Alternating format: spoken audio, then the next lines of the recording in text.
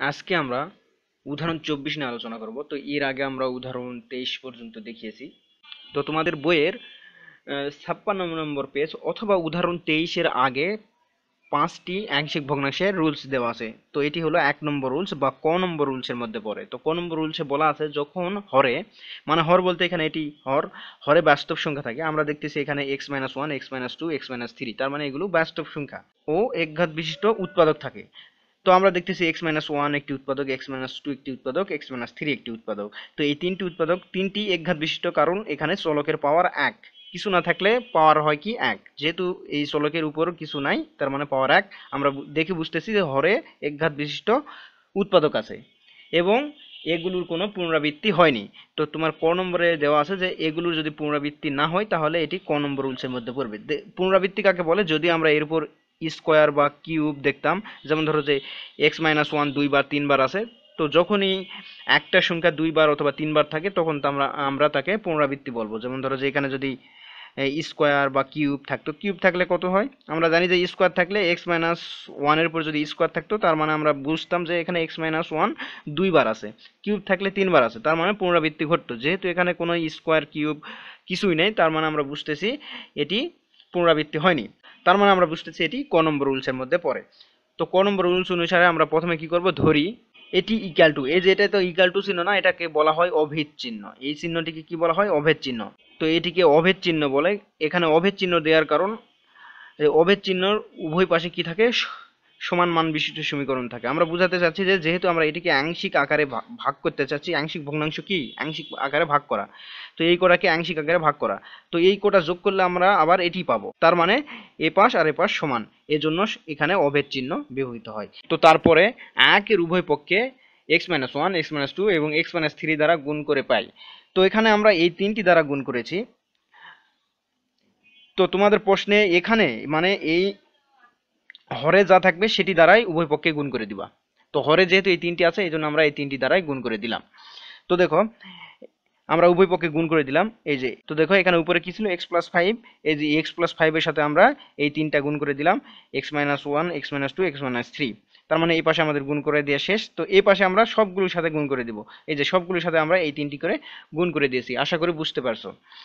তো গুণ করে দেওয়ার পর, তো দেখো এই যে এ পাশে x minus one x minus one x minus two x minus two x minus three x minus three কেটে গেল ঠিক এখানেও এই যে x minus one x minus one কেটে গেল আর এখানে x minus two x minus two আর এখানে x minus three x minus three কেটে গেল তো যাওয়ার পর এই পাশে কি থাকল এক্স প্লাস ফাইভ এই জন্য আমরা এক্স প্লাস ফাইভ লিখে নিলাম তারপর দেখো এখানে A x minus two into x minus three আর নিচে তো এটা কেটে গেছে এই জন্য আমরা এই দুটা লিখলাম। তারপর দেখো এখানে B x minus one x minus three এই যে x minus one x minus three আর এখানে C x minus one x minus two আশা করি বুঝতে পারছ যে এই লাইনটি কীভাবে এলো। তো তোমরা ডাইরেক্ট এই যে এই লাইনের পর এটি লেখার দরকার নাই ডাইরেক্ট তোমরা এই লাইন লিখবা। এটি আমি বোঝার জন্য লিখে দিয়েছি, যেন বুঝতে পারো যে উভয় পক্ষে গুণ করে কীভাবে এই লাইনটি এলো। তো তোমরা ডাইরেক্ট এই লাইনটি লিখবা। আশা করি বুঝতে পারছ। তো লেখার পর এখানে সমীকরণ নম্বর দুই দিবা। তো এখন দেখো আমাদের দরকার, যেহেতু এখানে আংশিক আকারে লিখেছি এ বি সি আমাদের এই তিনটির মানই দরকার। তো দেখো যদি আমরা এর মান বের করতে চাই, এই সমীকরণ থেকে এর মান বের করতে চাই, তার মানে এখানে বি আর সি এই দুটিকে কি করতে হবে? জিরো করে দিতে হবে। তো কীভাবে জিরো করব? তো এখানে খেয়াল করো, জিরো করার মানে এখানকার যে কোনো একটার মান যদি আমরা জিরো করে দিতে পারি, তার মানে এটি জিরো হয়ে যাবে। তো দেখো এখানকার মধ্যে আমরা খেয়াল করব যে কমন পথ কোনটি আছে? এক্স মাইনাস ওয়ান এখানে এক্স মাইনাস ওয়ান তার মানে এক্স মাইনাস ওয়ান এই দুই জায়গায় কমন তো দেখো, এখন যদি এই এক্সে এখানে এক্স মাইনাস ওয়ান এই এক্স মাইনাস ওয়ান এটাকে যদি আমরা জিরো করতে চাই, তার মানে এক্সে ওয়ান বসাইলে ওয়ান মাইনাস মানে এখানে যদি ওয়ান বসাই ওয়ান মাইনাস ওয়ান হয় জিরো হয়ে যাবে। এই জন্য আমরা দেখো এখানে দুইয়ের উভয় পক্ষে এক্স ইকাল টু ওয়ান বসিয়ে পাই। তো এখানে ওয়ান বসাইলে জিরো হয়ে যাবে। তো আমরা বসাইলাম, এখানে উভয় পক্ষে এখানে কত ছিল? ফাইভ এক্স প্লাস ফাইভ এক্সে one বসাইলাম plus five A into A into এক্সের সব জায়গায়, যেখানে যেখানে এক্স সেখানে সেখানে আমরা ওয়ান বসাবো। ওয়ান বসাই দিলাম এখানে ওয়ান মাইনাস টু তারপর এখানে ওয়ান মাইনাস থ্রি প্লাস এই যে দেখো এখানে বি তারপরে এই যে এখানে one minus three plus C এই যে ওয়ান মাইনাস ওয়ান আর ওয়ান মাইনাস টু আশা করি বুঝতে পারছ যে এই মানটি আমরা কীভাবে বসাইলাম আর কেন বসাইলাম। তো তারপরের লাইনে দেখো, এই দুটা যোগ করলে হয় সিক্স আর এখানে A into one minus two করলে কত হয়? Minus one.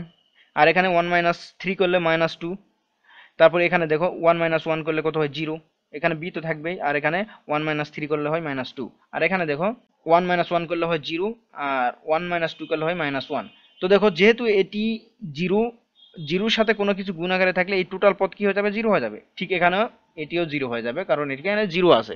তো তারপরে লাইনে দেখো, যেহেতু এই দুটো জিরো হয়ে গেছে, এই দুটো বাদ এখানে এই পাশে এটা সিক্স আর এখানে দেখো মাইনাসে মাইনাসে কি হয়? প্লাস প্লাস টু এ, কারণ এখানে টু আছে, আর এই দুটা জিরো দেখো, তারপরের লাইনে এখানে আমরা এর মান বের করেছি, তো এটা কীভাবে বের করেছি? এই যে এখান থেকে দেখো, আমরা যদি এই পরের লাইনে এভাবে লিখি, যে six equal to two A, অথবা আমরা লিখতে পারি এখানে, যে টু এ কে পাশে নিয়ে আসো ইকাল টু সিক্স অথবা A equal to six by two অতএব এটা এটা কেটে গেলে কত হয় থ্রি এই জন্য এটা থ্রি আশা করি বুঝতে পারছ। তার মানে আমাদের এর মান চলে আসলো। তো এখন আমাদের দরকার বি বি এবং সি এর মান। তো আমরা এখন বি এর মান নির্ণয় করব। তো দেখো, এখান থেকে যদি বি এর মান নির্ণয় করতে চাই, তার মানে আমাদের এ আর সি কে জিরো করে দিতে হবে।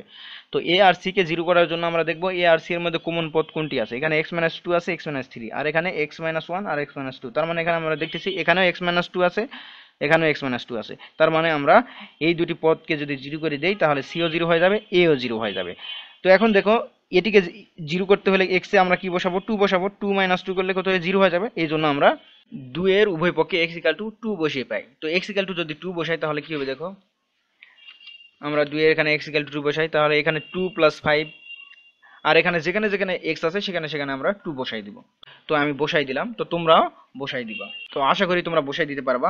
তো বসাই দিলে দেখো, এখানে টু প্লাস ফাইভ তারপর এ এখানে টু মাইনাস টু মানে এক্স এখানে এক্স ছিল, এই জন্য এক্স এক্সের মান টু বসাই দিলাম টু মাইনাস টু এখানে এক্স ছিল, এই জন্য এক্সের জায়গায় টু ঠিক এখানে দেখো, এখানে এক্স ছিল এক্সের জায়গায় টু এখানে এক্স ছিল এক্সের জায়গায় টু এখানে এক্স ছিল এক্সের জায়গায় টু আর এখানে এক্স ছিল এক্সের জায়গায় টু বসাই দিলাম।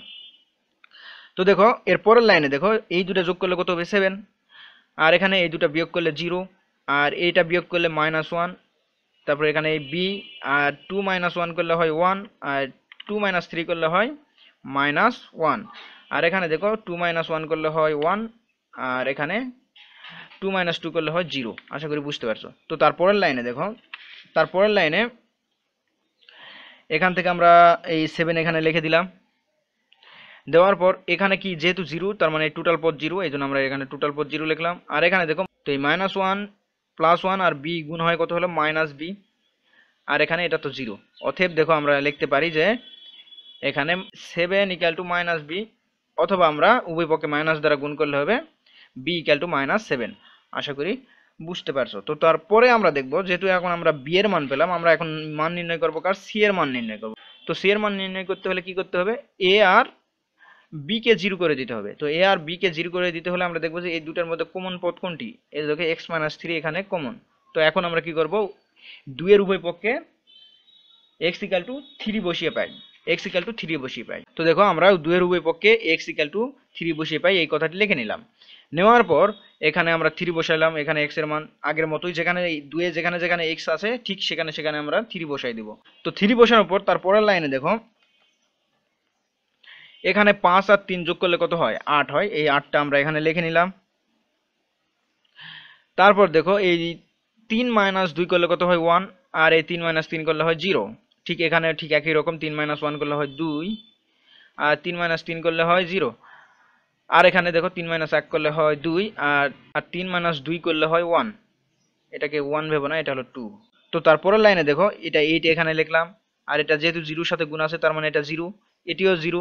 আর এটি এখানে থাকবে? টু সি এই জন্য আমরা একবারে লিখে নিলাম two C eight equal to two C অতএব আমরা এখানে এইট ইকাল টু যদি টু সি হয়, আমরা এখানে করতে পারি যে eight equal to two C বা আমরা লিখতে পারি যে two C equal to eight তারপরে আমরা লিখতে পারি কি? যে C equal to eight by two, অতএব এটা কাটলে কত হবে? সি এর মান ফোর এই জন্য আমরা এখানে দেখো সি এর মান ফোর লিখে নিয়েছি। আশা করি বুঝতে পারছ যে যে এ বি এবং সি এর মান কীভাবে পেলাম। তো যেহেতু এখন আমরা সি এ বি সি এর মান পেয়েছি, অতএব আমরা এক নম্বর সমীকরণে এই মানটি বসিয়ে দিতে পারব। তো এখন আমরা এ বি এবং সি এর মান এক নং সমীকরণে বসাবো, কারণ আমরা এক নম্বর সমীকরণেই ধরে নিয়েছিলাম এ বি সি তো দেখে এ বি সি আমরা ধরে নিয়ে নিয়েছিলাম এক নম্বর সমীকরণ। তাহলে এখানে আমরা এর মান, এখানে বি এর মান এখানে সি এর মান বসাই দিব। তো বসাই দাও। তো দেখো, অতএব এখানে অবশ্যই লিখে নিবা, দেখুন এ বি ও সি এর মান একে বসাই। তো এখানে এই পাশে যেহেতু এ বি সি নাই, এ পাশে যা আছে তাই লিখে নিলাম। এখানে অভেদ চিহ্ন, তারপর এর মান তিন জন্য আমরা তিন বসাই দিলাম। আর বি এর মান এখানে দেখো সেভেন বি এর মান আমরা জানি যে মাইনাস সেভেন আর এখানে দেখো, এখানে ছিল প্লাস যখন আমরা এখানে মাইনাস সেভেন বসাবো, তো এখানে সাপোজ এই বি এর মান তুমি মাইনাস সেভেন বসাইলে, তো এই মাইনাস আর এই প্লাসে গুণ হয়ে এখানে মাইনাস হয়ে যাবে। এই জন্য আমরা এখানে দেখো direct minus seven by x minus two বসাইছি। আশা করি বুঝতে পারছ যে এখানে মাইনাস কীভাবে হলো। তারপর দেখো এখানে সি এর মান যেহেতু four C by x minus three এটি হলো অ্যান্সার আশা করি বুঝতে পারছ। যদি বুঝতে না পারো, অবশ্যই কমেন্ট বক্সে জানাবে। আর এরকম আরও ভিডিও পেতে আমাদের চ্যানেলটি অবশ্যই সাবস্ক্রাইব করে পাশে থাকবে। এবং যে কোনো প্রয়োজনে যে কোনো প্রবলেমের সমাধান পেতে আমাদের ফেসবুক পেজটি অবশ্যই ফলো করে রাখবা। ফেসবুক পেজের লিঙ্ক আমাদের ভিডিও ডিসক্রিপশন বক্সে দেওয়া থাকবে। তো আজকের মতো এখানেই। তো সামনের ভিডিওতে আবার দেখা হবে।